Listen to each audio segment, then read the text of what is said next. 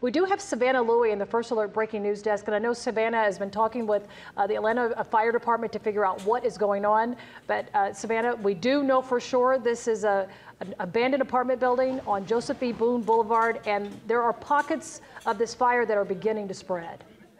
Yeah, hey guys, uh, Sean and Blair. We're also learning a little bit more about where this is exactly located here. Uh, again, Sean, like you said, this is Joseph E. Boone Boulevard, also Mayson Turner Road here. This is in East Atlanta, and those are the cross streets there as we look at firefighters working to put out those flames on what we believe is an abandoned apartment building. Uh, and Patrick, like you mentioned earlier, this fire spreading extremely quickly. Right now, I've counted so far, I believe we have four different fire trucks on that scene, approaching this fire from several different angles here, working to put those flames out. But what we've seen over the last 10 minutes or so is that fire, again, spreading very, very quickly, even to uh, areas not necessarily attached to that building. If you looked uh, and saw at the left-hand side of your screen there, you can see some flames uh, that separate firefighters are working to put out. Um, also along this area, and again, this is at Mayson Turner Road and Joseph E. Boone Boulevard in East Atlanta we did see part of that road, that stretch of road,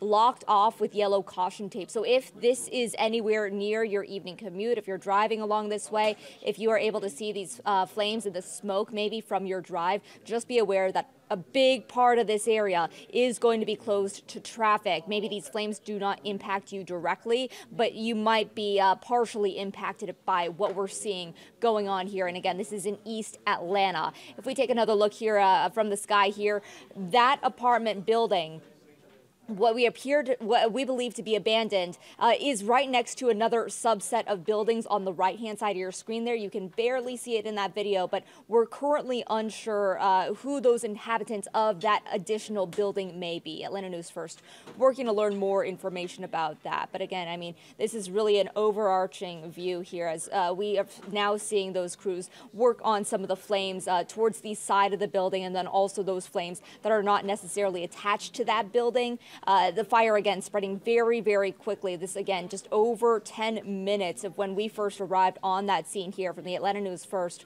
first alert chopper, those fire crews working from all angles to try to put out fires on uh, a couple different structures here. And, and again, over the past, uh, what it's probably about 12 minutes now. We've seen even part of that roof cave in on that apartment building, along with part of the, the, the upper level there also uh, drop in.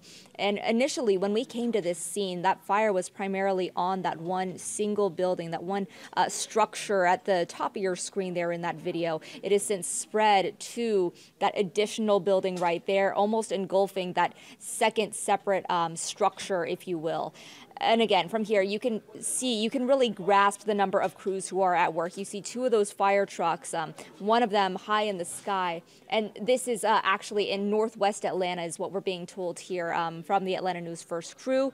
Uh, this fire going on, ongoing right now here.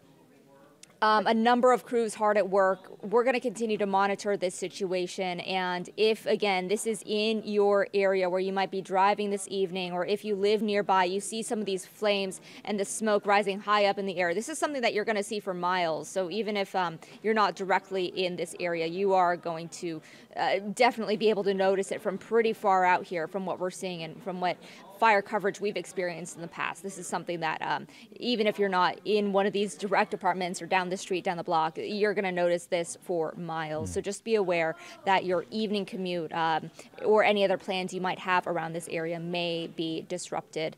Um, Letter News First, pushing for answers. We have reached out to local fire departments to try to figure out what may have started this fire.